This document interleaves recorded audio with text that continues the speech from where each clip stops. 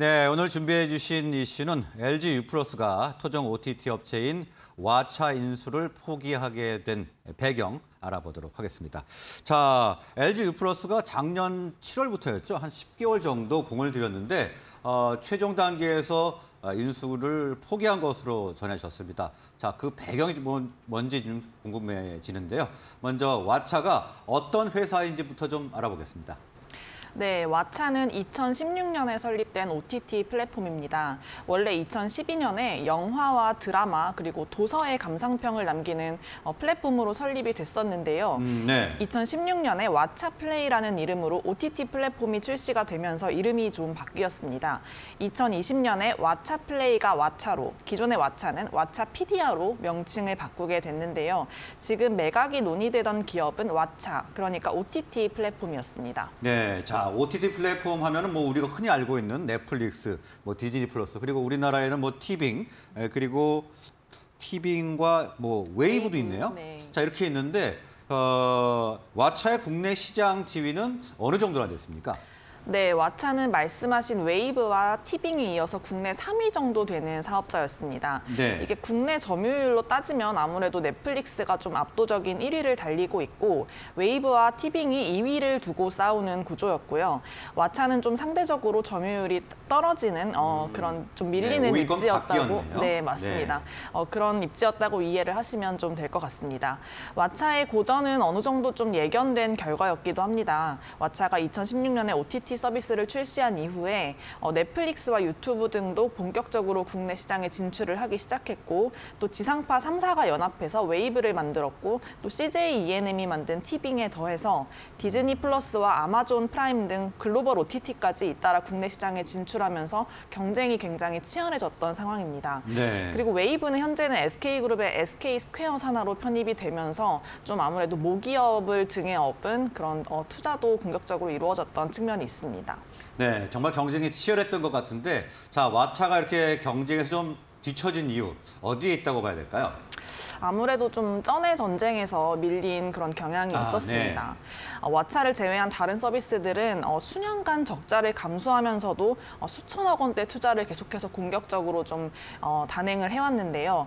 화려한 오리지널 콘텐츠를 제공해서 기존의 구독자들을 좀 이렇게 잡아두려는 어, 그런 전략이었습니다. 네.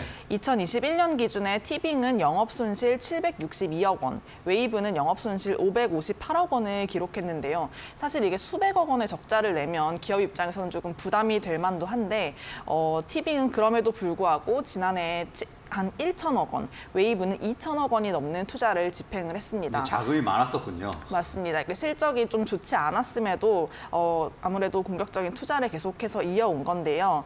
어, 좀 아무래도 좀 자산이 넉넉했기 때문에 투자를 견뎌낼 수 있었지만 왓챠는 그렇지가 못했습니다. 상대적으로 좀 자본력에서 밀렸기 때문인데요.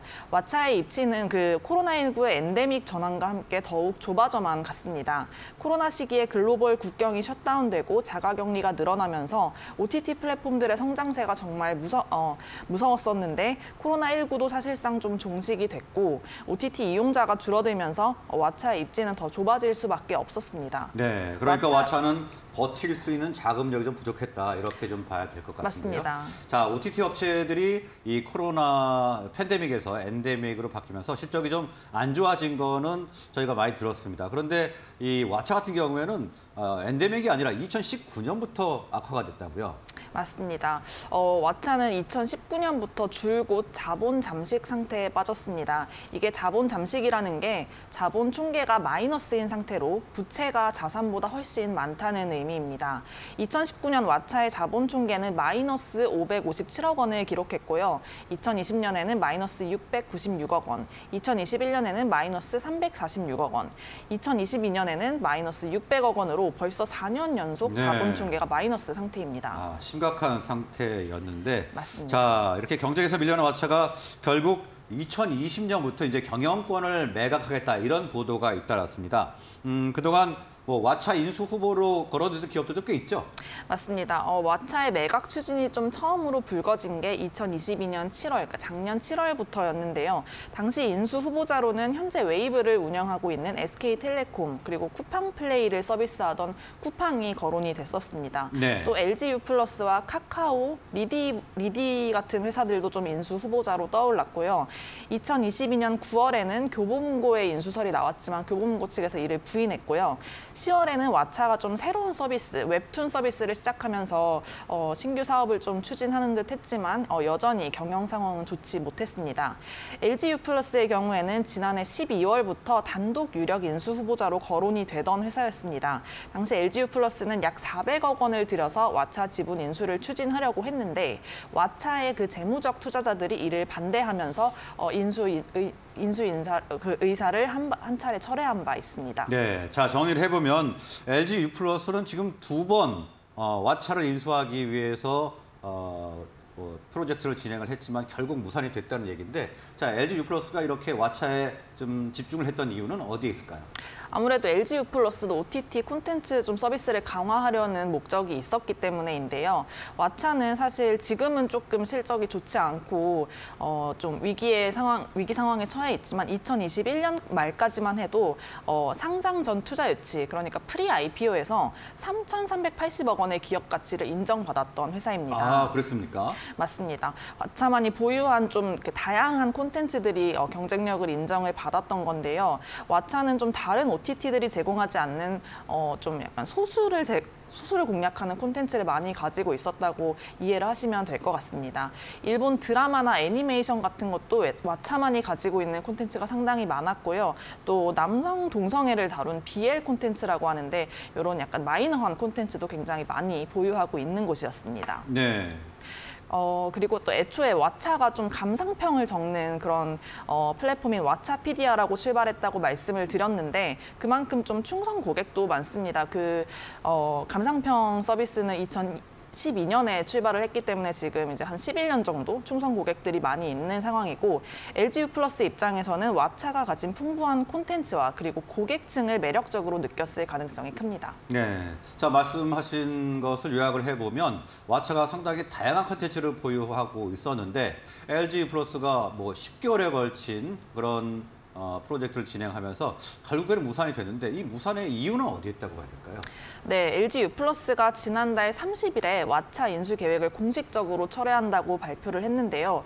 어, 추가 협상 여지나 가능성에 대해서도 어, 전혀 없다고 선을 그었습니다. 네. 그동안 좀 LG U 플러스랑 왓챠가 기업 가치, 그러니까 얼마에 어, 이 기업을 왓챠를 인수를 하겠느냐 하는 금액을 두고 좀 협상을 하고 있었습니다. 아, 결국에는 돈이 문제였나요? 맞습니다. 네. 최초 인수설이 나온 게 좀 작년 7월이니까 거의 10개월 동안 가격 조율에 나선 것으로 보입니다. 하지만 결국 가격에 대한 의견 차이를 좁히지 못하면서 어, LG U 플러스 측에서는 왓챠가 제시한 기업 가치에 비해서 좀 낮은 수준의 인수가를 제시했고 그러면서 딜이 성사되지 않은 것으로 보입니다. 네. 어, 지난해 말에 LG U 플러스가 왓챠 측에 제시한 어, 투자 유치 전 기업 가치, 그러니까 pre-value라고 하는데요. 이게 한 200억 원 정도인데 아까 제가 왓챠가 2021년 말에 진행한 pre IPO에서 3,380억 원의 기업 가치를 인정받았다고 했는데 네. 어, 왓챠의 몸값이 얼마나 떨어졌는지 좀 이해를 하실 수 있을 것 같습니다. 아, 뭐 3,380억 원에 10분의 1 이하로 지금 떨어진 가격이기 때문에 아무래도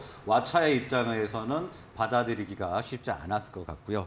자, 이렇게 왓챠 입장에서는 경영난이 지속되다 보니까 이 경영권 매각을 통해서 이런 활로를, 활로를 찾아보려고 했던 것 같은데 어, LG U 플러스가 지금 포기를 했고요. 다른 인수자는 없습니까? 어, 네. 지금 현재 상황으로는 어, 추가적인 인수 후보자는 나오지 않았습니다. 예. 어, 왓챠는 사실 그동안 경영권 매각이 조금 매우 절실했던 상황이었는데요. 일반적으로 회사가 좀 재무적으로 어려움에 빠지면 어, 우선 투자 유치를 통해서 어느 정도 좀 재무 상태를 개선을 하려고 하는데 아시다시피 지난해부터 투자 심리가 좀 얼어붙으면서 어, 왓챠는 투자 유치보다는 경영권 매각으로 선회를 한 상황입니다. 어, 가장 유력한 후보자로 거론되던 LG U 플러스가 좀좀 인수를 포기하면서 현재로서 다른 후보자는 없는 상황입니다. 어, 사실 왓차의 경영권 인수 대신에 투자를 논의하던 회사는 있었는데요. 예. 디지털 마케팅 기업인 모비데이즈가 어, 좀 약간 투자를 하겠다라는 의사를 밝힌 바 있습니다. 약 200억 원 정도의 투자 유치를 논의했던 것으로 알려져 있는데요. 어, 모비데이즈는 OTT 광고 시장에 진출하면서 좀 사업적인 시너지 효과를 노리면서 투자 유치를 어, 고민을 좀 했던 것으로 보입니다. 그런데 이번에 LG유플러스 deal이 좀 무산이 되면서 모비데이즈 쪽도 어, 투자 검토를 좀 잠정 유보한 것으로 알려져 있습니다. 사실상 왓챠의 인수 및 투자를 고민하던 기업들이 모두 발을 뺀 상황입니다. 네, 지금 왓챠는 상당히 지금 어, 심각한 상황에 몰리게 된 것 같습니다. 인수를 검토했던 에, 투자자들은 다 물러난 상황이고요. 그리고 투자를 검토했던 회사도 지금은 일단은 지금 뭐 잠정 유보한 상태죠. 맞습니다. 자, 이렇게 매각이 쉽지 않게 됐는데 아, 왓차가 그야말로 사면 초과에 빠진 것 같습니다. 자, 이런 상황에서 출구 전략이 있을지가 궁금하네요. 네, 사실 근데 왓차도 기업 상황이 매우 좋지 않은 상황이지만 두 손 놓고 있을 수만은 없는 상황이거든요. 그래서 최근에 좀 출구 전략으로 광고형 요금제 도입을 검토 중이라고 밝혔습니다. 네. 이 광고형 요금제가 뭐냐면 지난해 넷플릭스가 이미 도입해서 어느 정도 성과를 낸 서비스입니다. 콘텐츠에서 광고를 제공하는 대신에 좀 저렴한 구독료를 어, 이용할 수 있도록 한 것이 특징입니다. 넷플릭스의 경우에는 광고형 요금제의 월 구독료가 5,500원인데 어, 기존 넷플릭스 요금제 중에 가장 저렴한 요금제인 basic 요금제가 월 9,500원이거든요. 그러니까 이게 기존 요금제 대비 절반 수준의 저렴한 가격을 제공하는 대신 광고를 보게끔 한 겁니다. 네. 이게 넷플릭스는 작년에 코로나19가 엔데믹으로 전환하면서 신규 가입자 수가 어, 감소세로 돌아서자 광고형 요금제를 도입을 했습니다. 이게 블룸버그에 따르면 넷플릭스의 광고형 요금제 가입자 수가 출시 첫 달에는 500%, 두 번째 달에도 50% 정도 늘었는데 이 요금제를 이용하는 가입자 대부분이 과거에 넷플릭스를 해지했거나 아니면 신규로 이용, 어, 이용하려고 가입한 이용자인 것으로 알려졌습니다. 네. 이 광고형 요금제를 도입하면서 결국 넷플릭스의 가입자 수가 어, 늘어나게 된 건데요.